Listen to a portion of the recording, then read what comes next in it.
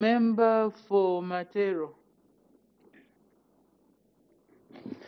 Thank you, Madam Speaker, and uh, congratulations, Minister, for your appointment and for the well-delivered statement. You mentioned that inflation is indeed uh, a big problem in our economy, not only in Zambia, but uh, the, the, the world, the global world, more so due to the COVID challenges, because it erodes disposable income. Honorable Minister, can you confirm that there's been a 20% that's been introduced on betting? As you know, most of our youths are now without jobs, relying on betting income uh, to support their families. And with the inflation, if there's that 20% tax that government is getting, that means all they are earning, first they lose half the time, but when they win, all they are earning, 20% goes to government. Can you confirm that on Bola Bet there's 20% tax?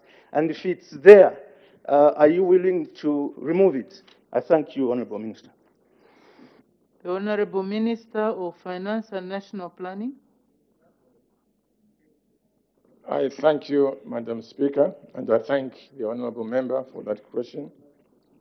Um, I think you agree with my, me, Madam Speaker, that the question is uh, veered of the topic that we are discussing, but uh, I'll be pleased to uh, answer his question if he comes to explicitly state it uh, in the other, other channels that are available to members of Parliament of this House. Madam Speaker, I thank you.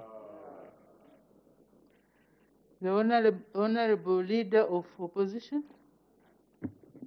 Thank you, Madam Speaker, for this opportunity. And thank you, Honorable Minister, for that elaborate statement.